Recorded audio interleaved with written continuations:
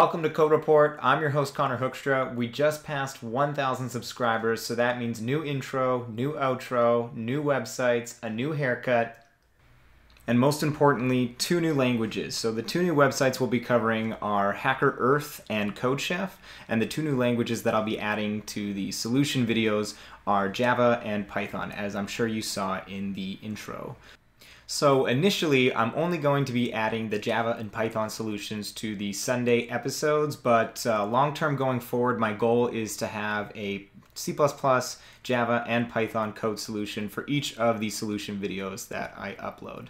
And uh, rest assured, this channel is going to be predominantly a C++ channel as 85% of competitors on Topcoder and Codeforces use C++ as the language of their choice. But I do know that there are some people out there that are using Python and Java in their day jobs, and they choose to use these languages as well on the competitive programming websites. So hopefully uh, this channel will be a resource for them as well.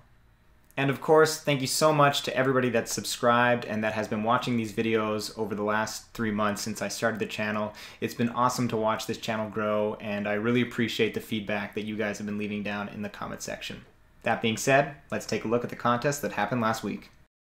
Last week we had four contests. Codeforces Educational 42 on Tuesday. This was originally scheduled to be round 475, but they swapped round 475 and Educational 42. So round 475 has been delayed till this upcoming Tuesday. Then on Friday, we had the first online round, sub round A from Google Code Jam. On Saturday, we had Topcoder SRM 733 at noon. And of course, we also had the weekly LeetCode contest, Contest 79, on Saturday evening. As well, we also had uh, the April long challenge from CodeChef that continues to go on uh, until about a day and a half from when this video will be uploaded taking a look at the top 10 leaderboards of the three contests that happened.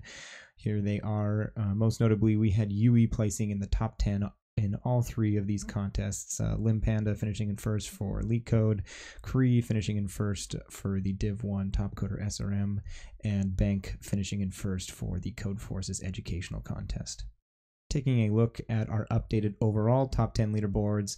I didn't cover Codeforces based on the round 474 from two weeks ago, uh, but we had Tourist dropping from fourth to fifth, and we'll call him 000, pulling into fourth place. And for Topcoder, we had no changes in the top nine, but due to Kuniavski's second place finish in the Div 1 Topcoder contest, he broke into the top 10. The problems I'll be covering today are problem 1 from LeetCode Contest 80, and I'll also be covering problem 2 and 3 from the Division 2 uh, Topcoder SRM 733. As well, I'll be trying to get to a couple solution videos that have been requested by su subscribers. So let's take a look at our first problem. The first and only problem we'll be covering today is problem 1 from LeetCode Contest 80 entitled Most Common Word. The question states, given a paragraph and a list of banned words, return the most frequent word that is not in the list of banned words. It is guaranteed that there is at least one word that isn't banned and that the answer is unique. Words in the list of banned words are given in lowercase and free of punctuation. Words in the paragraph are not case sensitive. The answer is in lowercase. And note that the uh, length of our paragraph is going to be less than a thousand. Uh, the le- the length of our banned words is going to be less than a hundred. Uh, the length of each of our banned words is going to be less than ten. And uh, the paragraph, when it comes to punctuation, is going to consist of uh, exclamation, question, apostrophe, uh, comma, semicolon, and period. So let's take a look at an example. So this is the example that LeetCode provided us with. It gives us the paragraph, Bob hit a ball, the hit ball flew far after it was hit. And it gives us the banned words, uh, which is only one that is hit. So the thing we have to do with this problem is basically come up with a map of all of the words and a count for each of those words. So the two most common ones are going to be ball and hit And uh, because hit is a banned word, we should return ball as our answer. But note that there's sort of two complications to this problem. One of them is that uh, we need to remove punctuation. So if we're to if we're to parse this paragraph and split it by spaces, this comma would be attached to this ball. So technically, uh, ball would not be uh, included in a ball without the comma. On top of that, we also have lowercase and uppercase to deal with. So we should be converting our paragraph to all lowercase and removing all the punctuation before we create our map. So other than that, it's a pretty straightforward problem. Uh, we don't really need any visualizations to see how this is going to work. So we can straight uh, we can jump straight to the code. So here is our C++ solution. Uh, this is going to be cleaned up, but this is basically how I implemented it when I was doing the contest. So uh, you can see here we have a function, most common word. It takes uh, two parameters, a string p, our paragraph, and a vector of strings, our banned words. So at the top, we're just creating an unordered set, a hash set, uh, and we're using the range constructor. So all of the words that are in our banned list are going to be in this unordered set. And then the next three lines are dedicated to removing the punctuation from our paragraph p. So we create an unordered set of characters characters that are all the punctuation characters that we need to remove. Then we create a lambda uh, that's going to tell us uh, if the current character we're looking at is in our punctuation set. And then we use the erase uh, remove if idiom or the erase remove idiom to uh, first sort of partition all of our punctuation characters to the right and then uh, erase those characters from our string. Um, and uh, after we've done this, then we are just going to loop through and convert any of our uppercase characters to lowercase. Uh, so this is this works and it uses the erase remove idiom and also a lambda, which is nice. Uh, but when I was reviewing other people's code, there was a much much cleaner way to do this. So uh, we can sort of reduce all three of those lines uh, into the uh, one line that was uh, changing our uppercase to lowercase and that's by just checking that uh, before we switch it to lowercase is it alpha so is it an alpha character and uh, if it is then we go to lowercase if it isn't then we just change it to a space now note that that this uh, code by itself with the remaining code will not work. You need to make an adjustment down here below. Uh, but once we make that adjustment, this will work, and it's much cleaner in my opinion.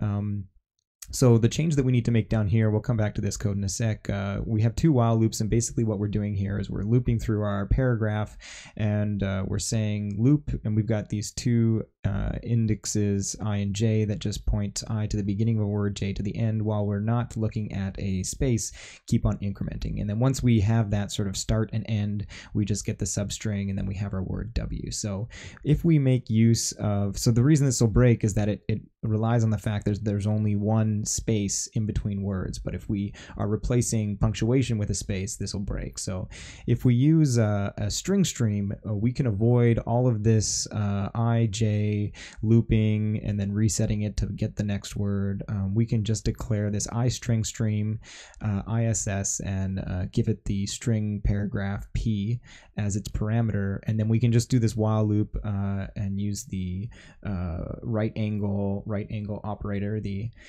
operator, uh, and uh, go ISS and then just declare a string W.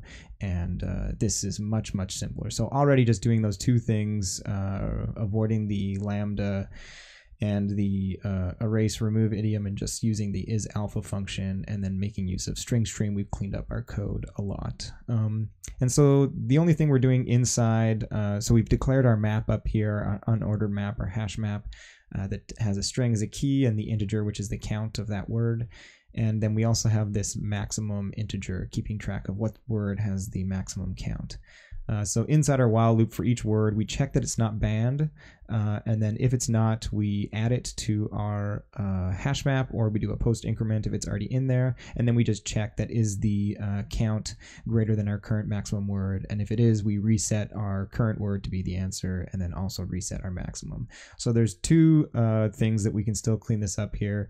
We can move this post increment and on our reference uh, to the value of our word that we're looking at into our if statement and make it a pre-increment and then we can also uh, move this uh, up and sort of remove our brackets Uh, so then we have this, which looks much nicer as well, in my opinion. And the final thing that we can do to clean this up is we can turn our string answer and our integer maximum into a pair. Uh, so we've turned what was originally like a 20 plus line solution into a 9 line solution, making use of is alpha, string stream, uh, the pre increment on our bracket operators, and using a pair instead of a string and an integer. So thanks to Lee215 who uh, posted his solution on the LeetCode forum, and I used uh, his solution as a reference for this. So moving on to our Java solution. So the Java solution is very similar. Obviously, we're making use of a hash set for our banned words as well as a hash map uh, to keep track of the words. Um, Java has this nice method called split that you can call on any uh, string and you can give it uh, the character or sort of a regex expression that you want to split. So this is just saying any uh, space one or more. So the plus means one or more and the slash slash s is just a, a space literal. And uh, we have a two lowercase function that we're also calling on our paragraph. And uh, we're doing this replace all uh, with a regex here, which is basically saying anything that's not, that's what the caret here means, uh, lowercase or an uppercase or a space, uh, we basically want to remove. So this is just removing all our punctuation here. And then unfortunately, Java doesn't have uh, a pair, so we have to have our string and integer keeping track of the word and our maximum uh, count of that word separately. But then everything else is basically the same. So we're checking that our uh, current word doesn't exist in our banned uh, set. And if that's the case, we are just going to do either we're going to put it into our insert it into our hash map and make sure that if it already exists, we're doing a increment on it and not just inserting it. And then here's the same check.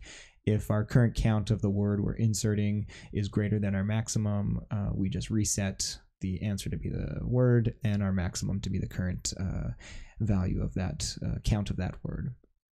And moving on to uh, Python, which probably has the nicest solution of all, and that is usually the case whenever there's parsing involved. Uh, we're using the same regex expression in order to split our paragraph into uh, separate words, and they have a dot lower and dot split method similar to Java. Here we're uh, declaring our hash map to store the count of each of our words, and this isn't a pair exactly. Uh, I guess it's probably a tuple. Um, and then we just have our for loop. So for word and words, which we've created here, if it's not in our banned words, we're going to just do a uh, insertion and then an increment on the count of that word. And at each step, we check to make sure that uh, we're storing the current maximum uh, count and the word. And at the end of this for loop, we just return uh, the answer. And the last thing to talk about is time complexity. So going back to our C++ solution, uh, the time complexity of this problem is going to be linear in the length of our paragraph because all of our operations are just simply iterating over uh, the paragraph itself taking a look at the contests that are happening next week, we have the Codeforces round 475 that was supposed to take place last week on Tuesday, but it, that is taking place this Tuesday. That's for both Division 1 and 2. We have the April Circuits contest that lasts for a number of days, uh, brought to you by the HackerEarth website. That starts on Saturday morning. We have the weekly LeetCode contest on Saturday evening, and we also have the April Cook-Off contest on Sunday from CodeChef. As well, we also have the HackerRank Week of Code 37. That starts uh, tonight and will last uh, for the remainder of this week. And last but not least, taking a look at the top 10 viewing countries. Uh, no changes in the top nine, but we do have a first time newcomer country in the number 10 spot, and that is Bangladesh. So, once again, thank you to everybody for watching all around the world. As always, if you enjoyed this video and found it helpful, hit that like button. If you want to see more, make sure to hit that subscribe button. You can follow me on Twitter for reminders 30 minutes before contests start, and you can find all of the code shown in my videos on my GitHub page. Thanks for watching, and I'll see you in the next video.